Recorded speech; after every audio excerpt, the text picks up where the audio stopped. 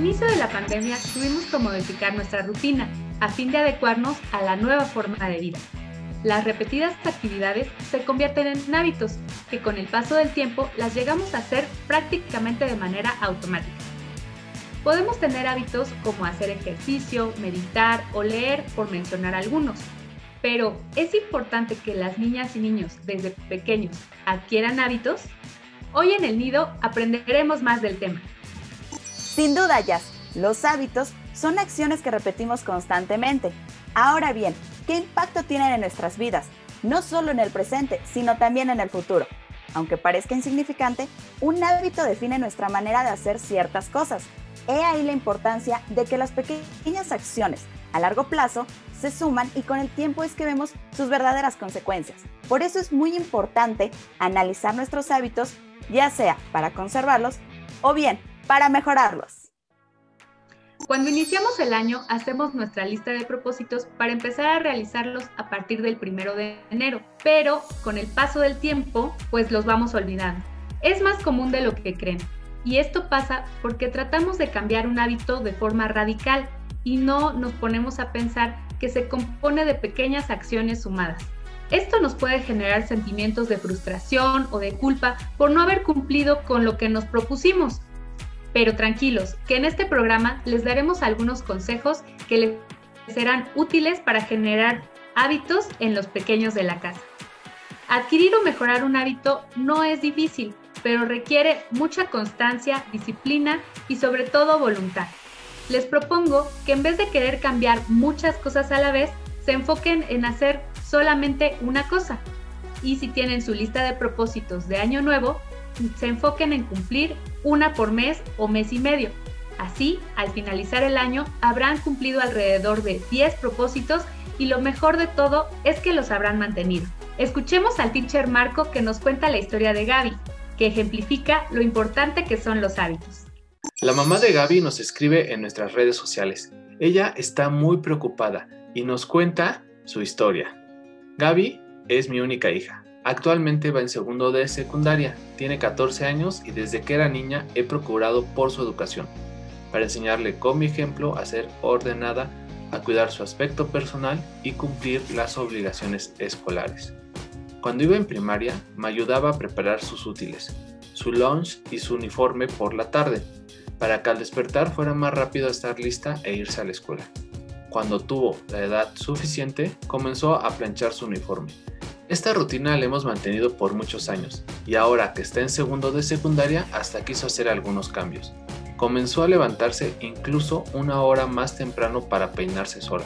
Con eso de que está de moda entre las chicas plancharse el cabello, accedí a dejar que lo hiciera, pero solo dos veces a la semana. A Gaby le encanta verse bien y arreglarse para ir a la escuela. Hasta se toma fotos para subirla en las redes sociales antes de salir de la casa pero cuando comenzó la pandemia y dejó de ir a la escuela presencialmente, sus hábitos cambiaron mucho. Ahora se duerme hasta altas horas de la noche por estar revisando su celular. Se levanta muy tarde, con trabajo, 5 minutos antes de que inicie su clase, para lo cual ni siquiera se quita la pijama y anda todo el día con chanclas. Como está tan desvelada, varias veces la he encontrado dormida en la clase. Se distrae con mucha facilidad yo creo que es porque no desayuna. Dice que no le da tiempo, pero a media mañana sale sin mi permiso a la tienda y se compra golosinas y comida chatarra, por lo cual ya subió de peso. Puede pasar hasta tres días sin bañarse. Dice que como no sale de la casa, no tiene por qué hacerlo. Además, nadie la ve. Yo he hablado con ella y le he dicho que aunque no salga de la casa debe de cuidar su arreglo personal y procurar tener un ambiente de estudio limpio y adecuado. Le adapté un espacio en nuestra mesa del comedor para que tome sus clases, pero ella prefirió quedarse acostada en su cama. Dice que con la tablet es más práctico y que al final sus maestros no se dan cuenta porque no activa la cámara de las sesiones de Zoom. Me preocupa su rendimiento escolar. Ha bajado y ahora hace el mínimo esfuerzo. No hace apuntes, no lee, si acaso hace capturas de pantallas de su clase, pero no la he visto que lo repase. Sobre todo me preocupa su rutina que ha tomado. Gaby me ha comentado que no le gustan las clases a distancia, porque le parecen aburridas y poco motivantes. Además que ya extraña mucho a sus amigos. Solo para hacer alguna videollamada con sus amigos o cuando sube historias es cuando se anima a bañarse, pero fuera de eso descuida mucho su aspecto físico. ¿Cómo puedo ayudar a mi hija a modificar estos hábitos que ha adquirido a raíz de la pandemia? Sin duda, todos hemos tenido que modificar la rutina diaria por el confinamiento. Sin embargo, hay cosas que debemos cumplir, como nuestro cuidado personal y nuestras obligaciones escolares. Ahora conozcamos algunos datos muy interesantes en el siguiente video. ¿Qué pasa con nuestro cerebro cuando adquirimos un nuevo hábito? Un hábito es cualquier comportamiento aprendido mediante la repetición, que se realiza de forma habitual y automática sin apenas pensar en ello. Nuestro cerebro es como una red eléctrica formada por neuronas.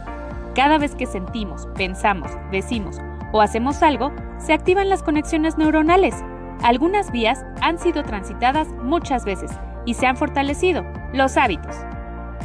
Una investigación de la Universidad de Duke en 2006 descubrió que el 40% de las acciones que ejecutamos a diario no son decisiones reales, sino hábitos. Además, las investigaciones del profesor de Psiquiatría, Neurociencias y Psicología de la Universidad de California, Larry Square, y sus compañeros del MIT, mostraron que el cerebro tiende a formar hábitos para ahorrar esfuerzos, Existe un mito muy extendido que asegura que son suficientes 21 días para convertir una acción o comportamiento determinado en un hábito. Este mito tiene su origen en una mala interpretación del trabajo del doctor Maxwell Maltz, autor del famoso libro Psycho-Cybernetics. Este doctor se dio cuenta de que los pacientes tardaban 21 días en habituarse a su nueva imagen tras una operación. Trabajos posteriores como las investigaciones de Philip Palay han permitido comprobar que en promedio se tardan unos 66 días en formar un hábito, aunque el tiempo real depende de la acción en sí, la persona y la circunstancia. Formar o cambiar un hábito es un proceso que requiere tiempo y dedicación, además de autodisciplina. Veamos las recomendaciones que el teacher Marco encontró para mejorar nuestros hábitos. Lo que haces diario es lo que crea la vida en la que vives. Entonces, cuando piensas en cambiar tu vida, lo que realmente estás pensando es cambiar tu rutina. Todo esto lo aprendí en el libro Pequeños hábitos, grandes cambios de Steve Handen, el cual recomiendo consultar. Yo lo leí y empecé a hacer algunos hábitos que me han dado muchos beneficios. Aparte la lectura es muy digerible y puede ser para cualquier edad. Tiene hábitos en todos los aspectos importantes de nuestra vida, estudios, financiero, aspectos personales, así que lo recomiendo mucho. Y aquí tengo los cinco consejos que aprendí de este gran libro. 1. Empieza poco a poco. A menudo cuando queremos hacer algún cambio, pues pensamos en hacerlo drásticamente, radicalmente, y esto no pasará. No, no cambiamos de la noche a la mañana, sino con pequeños cambios. Se trata de ver la meta muy grande, pero en pequeñas acciones. De esta manera será más fácil que no nos demos por vencidos y que adaptemos el hábito a nuestra vida. 2. Toma acción. No caigamos en la adicción de la información. Cuando queremos hacer un cambio es natural que queramos informarnos, leer un libro, escuchar un podcast, ver un review, algún video en YouTube que nos dé algunos tips de cómo podemos adaptarnos a este cambio. Sin embargo, lo más importante es practicar. Es como la bicicleta. Podemos ver muchísimos videos, leer libros y tener mucha información sobre cómo andar en bicicleta, pero realmente lo vamos a lograr y vamos a aprender hasta que nos subimos en la bicicleta. Así que para hacer los hábitos tenemos que poner acción. Número 3. Sé paciente. Consolidar un hábito requiere de un gran esfuerzo. Motiva a tus hijos a que sean conscientes y pacientes. Sí llegará el beneficio, pero todo a su tiempo. Los resultados se verán reflejados. Mientras, disfruta el camino. Número 4. Aplaude tu esfuerzo. Por muy pequeño que haya sido este cambio que lograste, identifícalo, reconócelo, celébralo. Si no lo haces tú, ¿quién lo va a hacer? Esto es muy importante porque nos va a dar la motivación. Yo les recomiendo cada semana se replanteen el cambio que están logrando y cómo poco a poco están llegando a sus objetivos y a sus metas. Así que a celebrar estos cambios. Número 5. Los básicos y que todos deberíamos practicar. El descanso, la alimentación y el ejercicio. Recordemos la historia de Gaby. Su problema comenzaba una noche antes, cuando no dormía bien.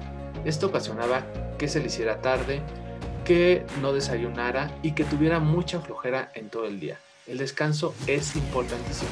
Dormir entre 6 y 8 horas como mínimo y sobre todo que sea un sueño de calidad y que puedan descansar. La alimentación, también recordemos que en la historia Gaby pues no desayunaba y esto ocasionaba que perdiera energía y comía puras golosinas. Y algo muy importante, el ejercicio. Les quiero compartir un hábito que he adquirido en lo que va de este año. Se llama la regla 20-20-20 y me ha traído muchos beneficios. Se trata de despertar una hora antes de lo habitual. Estos 60 minutos los voy a dedicar absolutamente a mí. Los primeros 20 minutos a hacer ejercicio. Los siguientes 20 minutos a meditar. En otros capítulos del nido ya hemos hablado sobre la importancia de la meditación y los beneficios que trae a nuestro cuerpo y a nuestra mente. Y los últimos 20 minutos a leer. De esta manera, la primera hora del día, los primeros 60 minutos de nuestro día, lo vamos a dedicar a nosotros. Y esto va a hacer que crezcamos personalmente, profesionalmente y es una manera pues de demostrarnos nuestro amor pues les recomiendo mucho leer el libro Pequeños hábitos, grandes cambios. Es un libro que trae muchos consejos prácticos, sobre todo es para todas las edades. Una persona adulta lo puede leer, pero también un niño y le va a ser muy práctico, muy útil, está divertido y sobre todo pues nos invita a cambiar nuestra vida a través de estos pequeños hábitos que al final nos van a convertir en la persona que queremos llegar a ser. Una vez más, les agradecemos por acompañarnos en este capítulo. Los invitamos a realizar pequeñas acciones que les ayudarán a adquirir hábitos y podamos cumplir con uno de los principios básicos de nuestra tribu, ser 1% mejor que ayer. Y recuerden seguirnos en nuestras redes sociales, así como activar las notificaciones para conocer más de los temas que desarrollamos en el nido. Hasta la próxima.